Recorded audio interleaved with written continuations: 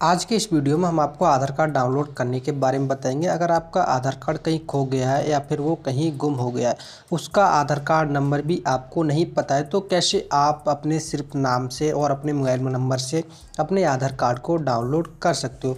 आज की इस वीडियो में हम आपको पूरा प्रोसेस बताएँगे, कैसे आप अपने आधार कार्ड को सिर्फ़ अपने नाम से डाउनलोड कर सकते हो। कैसे डाउनलोड करना है, वो वीडियो में हम आपको बताएँगे। आधार कार्ड डाउनलोड करने के लिए सबसे पहले आपको अपने ब्राउज़र पर आना है। ब्राउज़र पर आने के बाद यहाँ पर सर्च करना U I D A I dot G O V dot in ये सर्च करेंगे तो आपके सामने कुछ इस तरह की आधार की यू की ऑफिशियल वेबसाइट खुल जाएगी। वेबसाइट खुलने के बाद हमें नीचे की तरफ़ आना है।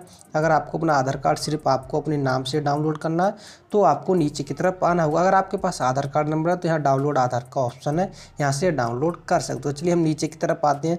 नीचे की तरफ़ आने के बाद यहाँ पर आपको एक ऑप्शन देखिएगा आधार सर्विसेज़ पर क्लिक कर देना है। आधार सर्विस वाले पर क्लिक करने के बाद आपके सामने कुछ इस तरह का पेज डिस्प्ले हो जाएगा। डिस्प्ले होने के बाद हमें नीचे की तरफ़ आना है। नीचे की तरफ़ यहाँ देखिएगा वेरीफाई आधार।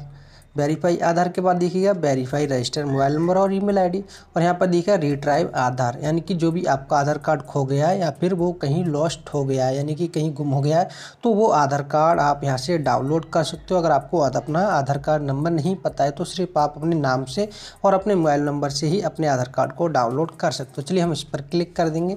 इस पर क्लिक करने के बाद हमारे सामने कुछ इस तरह का पेज डिस्प्ले हो जाएगा।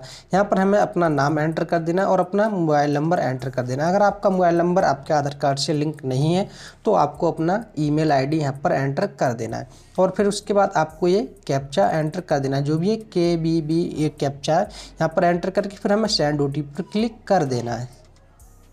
ओटीपी पर क्लिक करने के बाद जो भी हमारे आधार कार्ड से मोबाइल नंबर लिंक होगा, उस पर एक ओटीपी आएगी और हमने जो भी अपना मोबाइल नंबर यहाँ पर एंटर किया है या फिर आपने ईमेल आईडी एंटर किया है, उस ईमेल आईडी पर या फिर आपके मोबाइल नंबर पर एक ओटीपी आएगा।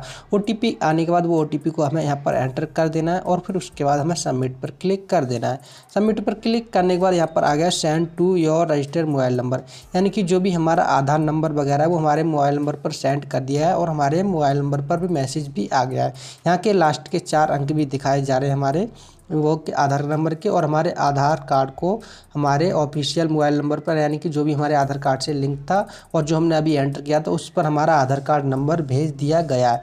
वो आधार कार्ड नंबर भेज देने के बाद हमें यहाँ पर डैशबोर्ड पर क्लिक कर देना है। डैशबोर्ड पर क्लिक करने के बाद हमारे सामने कुछ इस तरह का पेज डिस्प्ले होगा। वेलकम टू माई आधार का हमें नीचे की तरफ़ आना है। नीचे की तरफ़ आने के बाद एक ऑप्शन देखिए, यहाँ पर डाउनलोड आधार और ऑर्डर आधार पीवीसी कार्ड। तो आप यहाँ से अपने पचास रुपये पे करके अपने आधार कार्ड को पीवीसी कार्ड यानी प्लास्टिक कार्ड में मंगा सकते हैं, जो कि हमारे वॉलेट साइज़ का होता है। हम पर्स वगैरह में अपने वॉलेट में आसानी से रख सकते हैं, जैसे कि हमारा पैन कार्ड होता है, वैसा होता है। चलिए हम अपना डबरा आधार कार्ड डाउनलोड ही कर लेते हैं। यहाँ डाउनलोड पर क्लिक करेंगे। यहाँ पर हम अपना जो भी हमारे मैसेज पर आधार कार्ड नंबर आया है, वो आधार कार्ड नंबर को यहाँ पर एंटर करेंगे, फिर उसके बाद एक कैप्चा एंटर करेंगे, फिर सेंड ओ पर क्लिक कर देंगे। सेंड ओ पर क्लिक करने के बाद जो भी हमारे आधार कार्ड से ईमेल आईडी या फिर मोबाइल नंबर लिंक होगा, उस पर एक ओटीपी आएगा, वो ओटीपी को हमें एंटर करना है, फिर वेरीफाई एंड डाउनलोड पर क्लिक कर देना है। यहाँ पर अपने ओटीपी को एंटर कर दिया वेरीफाई एंड डाउनलोड पर क्लिक कर देंगे। वेरीफाई एंड डाउनलोड पर क्लिक करने के बाद हमारे यहाँ पर आधार कार्ड डाउनलोड होना स्टार्ट हो जाएगा। और हमारे यहाँ पर पासवर्ड के बारे में बताया जा रहा है कि हमारी पीडीएफ का पासवर्ड कुछ इस तरह से रहता है। अगर आपका नाम अनिश कुमार है तो और डेट ऑफ़ बर्थ आपकी उन्नीस है। तो आपके अपने नाम के बड़े अक्षर में ए एन आई एस लिखना है और आपको अपनी डेट ऑफ़ बर्थ एंटर कर देनी है। उसके बाद आपका आधार कार्ड है वो आपको पी फ़ाइल में ओपन हो जाएगा। जैसे कि हमारा दिख रहा है congratulation your Aadhaar card has been download successful.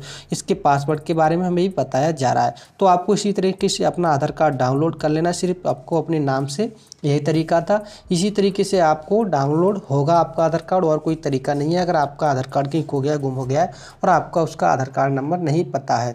उम्मीद करते हैं दोस्तों आपको यह वीडियो पसंद आया होगा। वीडियो पसंद आए तो वीडियो को लाइक ज़रूर कर देना और दोस्तों के साथ शेयर ज़रूर कर देना। मिलते हैं आपसे नेक्स्ट वीडियो में। तब तक के लिए जय हिंद, जय भारत।